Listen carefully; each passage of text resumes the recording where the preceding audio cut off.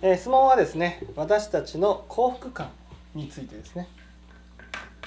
で、えー私たちはですねまずそのまなしきという自己中心的な心があるんですね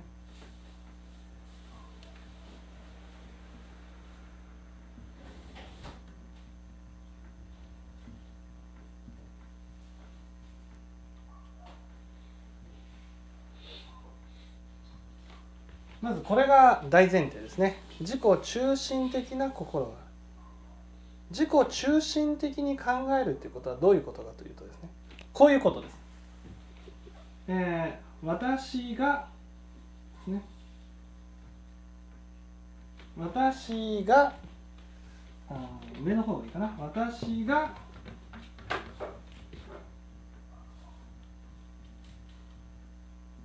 幸せならば周りの人は？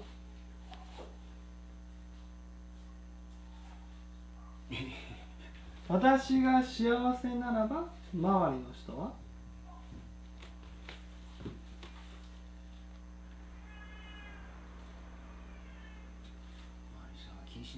周りの人は幸せであってほしいと思う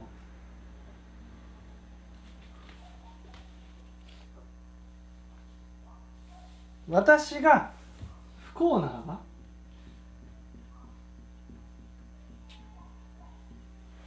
周りの人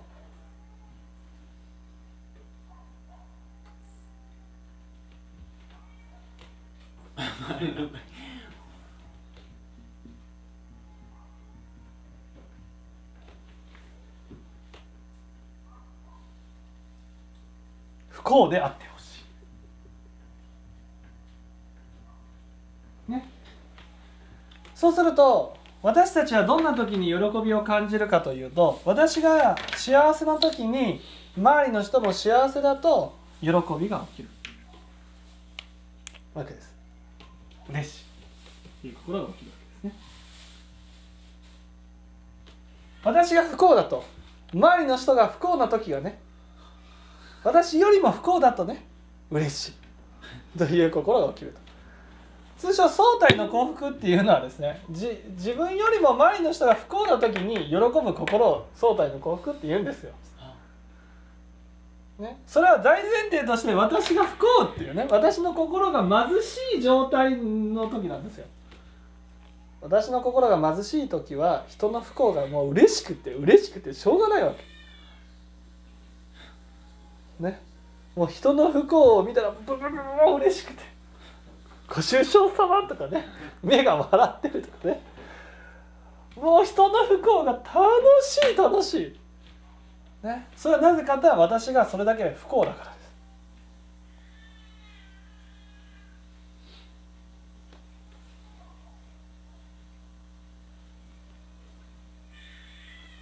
です。反対にね私が幸せな時はみんなも幸せであってほしいわけ。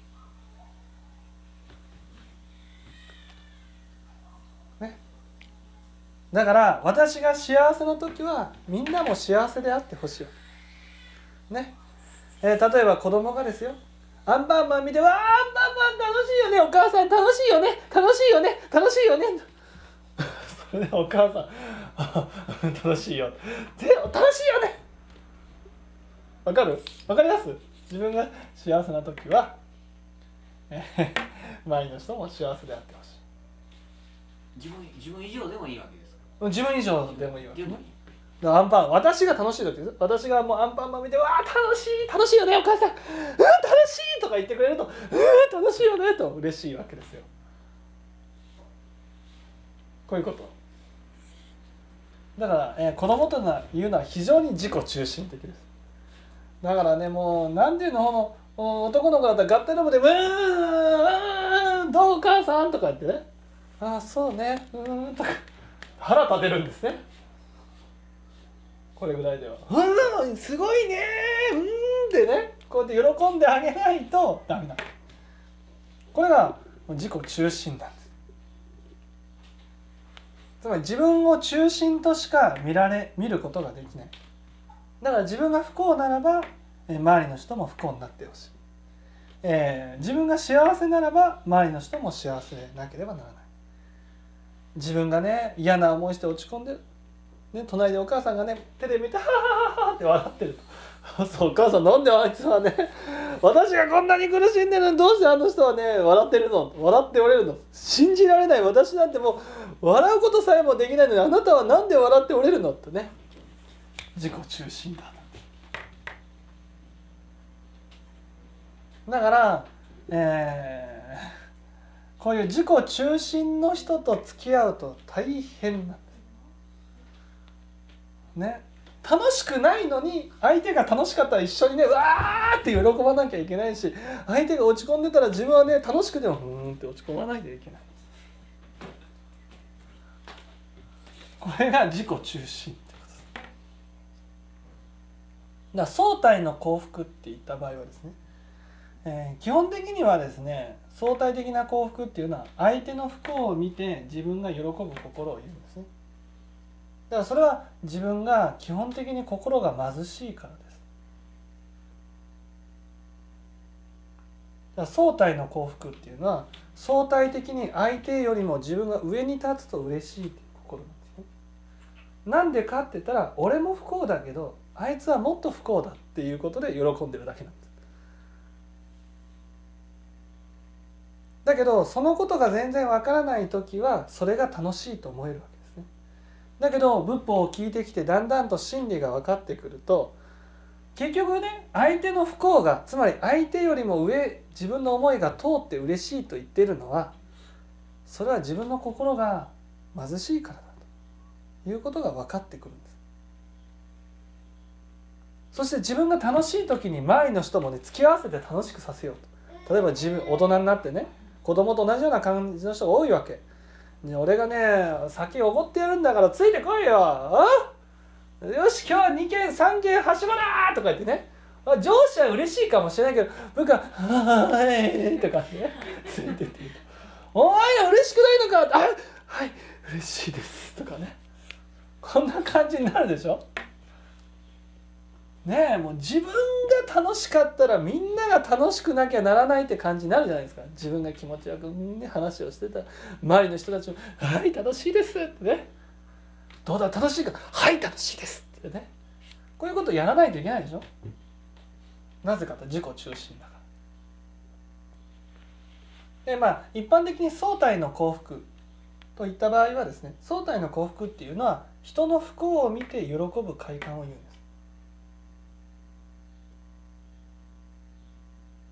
人の不幸を見て相対の幸福ですからね。相対っていうのは相手と比べて自分が上に立っていることが嬉しい。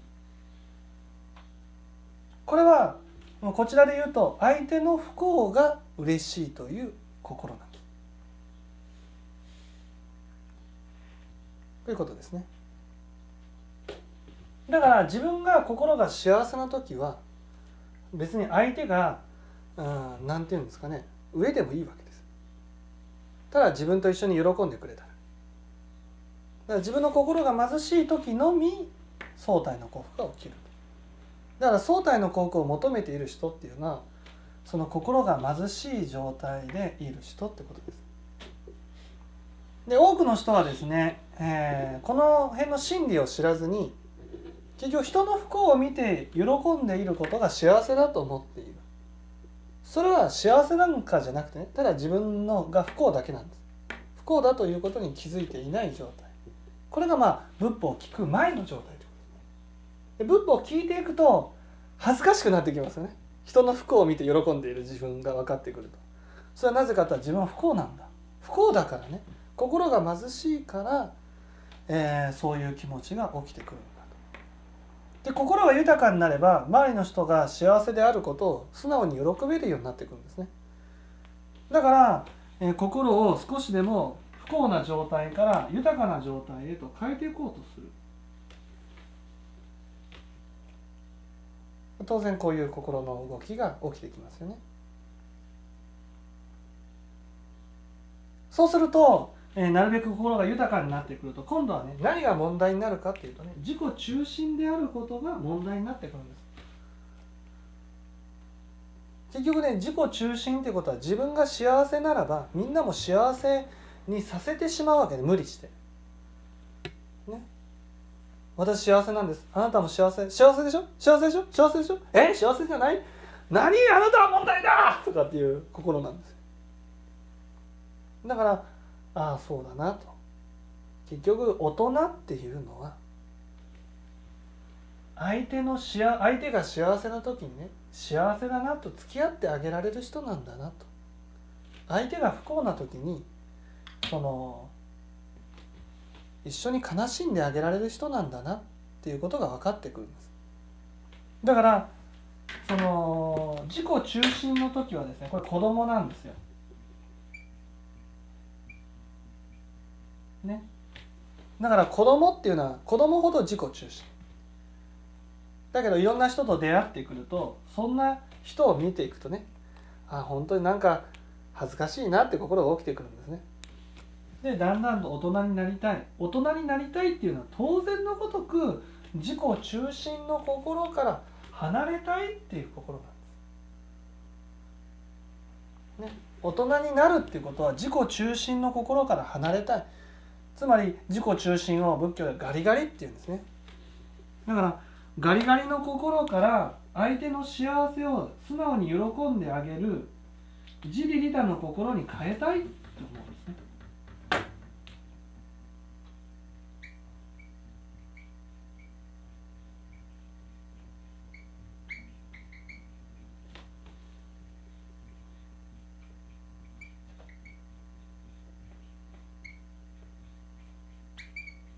だから自然な流れです。自然な、ね、自然な流れ。